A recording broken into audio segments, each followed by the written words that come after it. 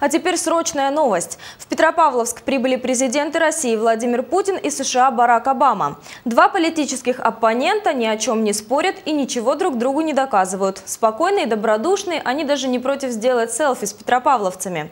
Наша съемочная группа не смогла упустить такой шанс, чтобы посмотреть на президентов. И не только на них. Так много знаменитостей в одном месте в реальной жизни вряд ли встретишь. Но здесь, на выставке восковых фигур, от звездности глаза просто разбегаются. Актеры, певцы и политики из разных эпох почти как настоящие, разве что не разговаривают.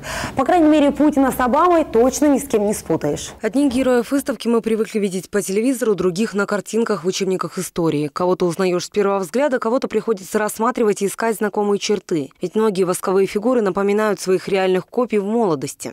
Первыми с головой начинают работать постижеры. То есть те люди, которые делают парики, они покупают волосы у населения или в парикмахерской, и каждую волосину горячей иголочкой впаивают воск. Иногда 40-60 тысяч и более. Это очень кропотливая работа, занимает несколько месяцев. Они же делают бровки, реснички, а уже потом с ними работают. Офтальмологи делают глаза, э, стоматологи делают зубы. Популярная чита Брэда Питта и Анджелину Джоли неподалеку собрались на пикник герои фильма «Особенности национальной охоты». А здесь дедушка Ленин, призывавший всех учиться. Великий правитель Чингисхан, боксер Майк Тайсон и футболист Пеле. О жизни каждого подробно рассказывают во время экскурсии. Адольф Гитлер, национал-социалист, диктатор – фюрер Германии, имел э, тайные пристрастия. Допустим, э, для него специально снимали фильмы, пытки заключенных, и эротические фильмы, я смотрел отдельно, тайно.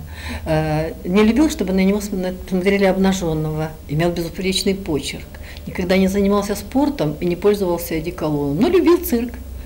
Э, очень нравилось, ему, э, ему очень нравились женщины-циркачки, и он им дарил э, дорогие букеты цветов и дорогой шоколад. А в соседнем зале герои наших любимых фильмов и сказок. Озорной Буратино с друзьями «Властелин колец», Йода, Минотавр, трехметровый аватар, грациозная женщина-кошка и пираты Карибского моря. С каждым юные петропавловцы уже успели познакомиться. Именно они стали первыми гостями на выставке. Очень понравилась эта выставка. В основном мне, мне понравились Пили и Чингисхан. Они похожи на настоящих людей, даже потрогать кого-то человеческая кожа. Мне понравился аватар, я пришел со своей сестрой. Мне очень понравился он и все фигуры. В Петропавловск экспонаты везли в специальных коробках. Отдельно, чтобы не повредить, упаковывали руки, головы и тела. Располагается выставка восковых фигур в историко-краеведческом музее. Работать она будет до конца мая. При необходимости ее продлят. Кстати, Петропавловск стал первым городом в Казахстане, куда привезли новую экспозицию. Ирина Панфилова, Казбек Рыкбаев, Новости МТРК.